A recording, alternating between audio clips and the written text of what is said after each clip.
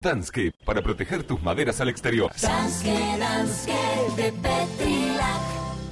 El objetivo está cumplido. Uruguay está en el Mundial de Brasil. El estadio El Centenario estaba repleto de hinchas que agotaron las localidades ni bien se pusieron a la venta. El equipo de Oscar Washington Tavares llegaba tranquilo porque había goleado 5 a 0 en la ida y con esa renta encaró la vuelta ante Jordania.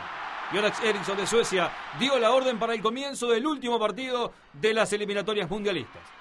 Y Uruguay fue por la primera en el partido. Disparo de Nicolás Lodeiro, el remate de pierna izquierda del Sanducero y la pelota se fue contra el caño izquierdo de Jad Nawi. Pase en profundidad para la corrida de Edinson Cavani, el delantero del Paris Saint-Germain, que luego se queda sin ángulo.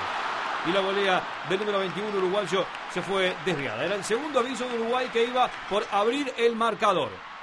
Cristian Rodríguez y una muy buena asociación de toques en la tercera de Uruguay en el partido. Centro que vino y cabezazo otra vez de Edinson Cavani, el matador francés que se hacía presente sobre el área jordana y el cabezazo se va alto por encima del arco de la tribuna Colombes.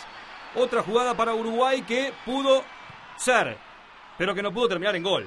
Cavani pivotea bien, llegan Lugano y Godín y luego prácticamente que se choca con la pelota al número 3 y da en el palo una jugada en la que perfectamente Uruguay pudo anotar el 1 a 0. Vean cómo Cavani se saca la marca, llegan Lugano y Godín y después el horizontal le niega la chance al jugador uruguayo, al zaguero del Atlético Madrid. Nos metemos ya en el segundo tiempo. Este desborde de Cristian Rodríguez, la pelota rebota en la mano de Nazar. El árbitro Eriksson de Suecia entendió que no era penal, algo que reclamó Uruguay.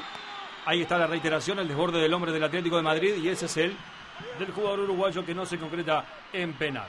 Uruguay seguía dominando el partido, tiraba este centro al área, la aparición de Diego Lugano y el hombre que juega en el fútbol inglés con otro cabezazo hacía que las gargantas uruguayas quedaran sin grito. Buen frentazo metió el número 2. Uruguay no podía vulnerar la valla jordana y aquí otra vez otro intento de Edinson Cavani y el arquero Nawi se quedó con la pelota. Y así llegamos al final del partido. Uruguay y Jordania empataron 0 a 0. La selección uruguaya se clasificó y disputará su duodécima Copa del Mundo y luego de 40 años será cabeza de serie. Integrará el bolillero 1 junto a Brasil, Alemania, España, Argentina, Colombia, Bélgica y Suiza. Y además los charrúas, después de 24 años, lograron clasificar a dos mundiales consecutivos. La última vez había sido para los torneos de México 86 e Italia 1990. Ahora a esperar los rivales que saldrán del sorteo del próximo 6 de diciembre. Uruguay es mundialista y allá vamos. Danske, para proteger tus maderas al exterior. Danske, Danske de Petrilac.